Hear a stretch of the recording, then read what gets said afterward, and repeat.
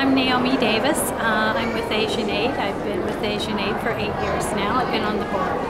And uh, we're originally from uh, Auburn, Nebraska, a little town south of Lincoln. And then we moved our headquarters to um, out, just outside of Southern University in uh, outside of Chattanooga, Tennessee. And we find children in India who have been uh, abandoned by their families. We put them in orphanages, find sponsors for them, and we give them a Christian education and, and teach them about God. And uh, they go on and become ministers and teachers and doctors. And we also uh, help the elderly over there with hungry money. Uh, they don't have a social security or welfare system there that's really good. And when the parents uh, become elderly and are too old to uh, work anymore, they, they just sort of them out of the house and they live along the streets in cardboard boxes. So we give them money each month and it buys them food, rice mostly. Uh, it's not a big lavish diet, but they do get rice. They get two changes of clothes a year and two blankets a year.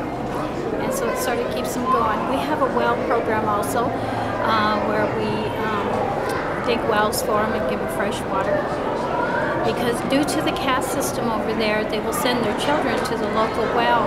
But if they're of a lower caste than the people at the well, they have to stand there and wait. They have to hide in the bushes and wait all day, or they'll beat them and send them away. So the mothers send their children out in the morning, and sometimes they don't know what time they'll come back whenever they can get water. And they put the water in big um, stainless steel pots and put it on top of their head and carry it home. Um, we're right now we're building a new Sunrise Orphanage. Uh, it's out, just outside of Bobbili. Uh, we've had well, we've just had so many children come that we've outgrown it, and it's not in a very good neighborhood, and it's not a very good building. So we're building a new one out in the country, and we have started building it. So we hope to have it done by Christmas, but we don't know. We run into a lot of things in India. Um, we're right now we're trying to raise money to buy each child a bed. They have been uh, laying on the floor on blankets and that. So, and it costs approximately seventy-five dollars for each child to have a bed with mattress and a proper bed. So, I moved down here a year ago, and uh, I thought I'd come to camp meeting here and let everybody know Asian Aid and what we do and uh, I went over a year ago. We have Hope in Motion, uh, a series on Asian Aid that's on 3ABN every Friday evening. And I got to go over with the film crew and they filmed me meeting my sponsored child.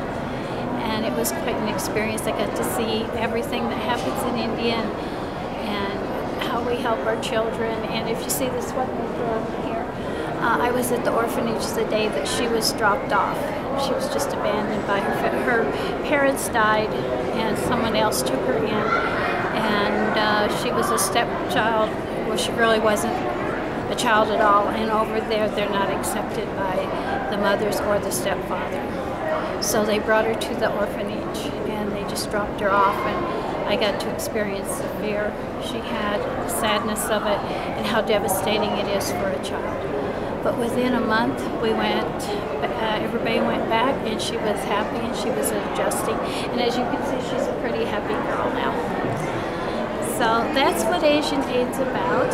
And so I just came here to help people understand what Asian Aid's about.